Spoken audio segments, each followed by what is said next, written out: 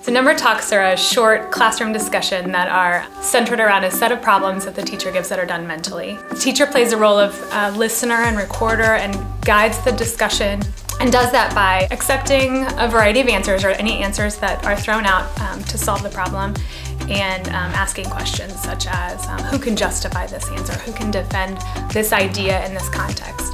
I like it because everybody gets to share their ideas.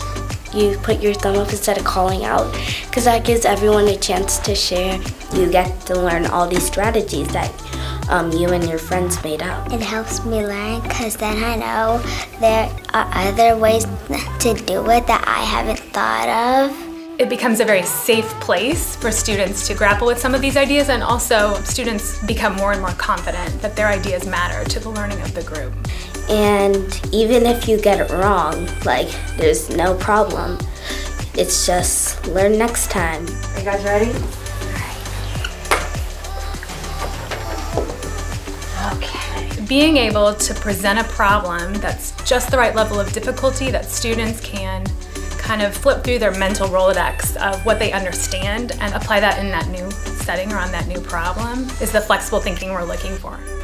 I really like when it's really challenging. Sometimes she flashes cards that are like actually like really, really, really hard. And you have to really think. Yeah, like yeah. really think.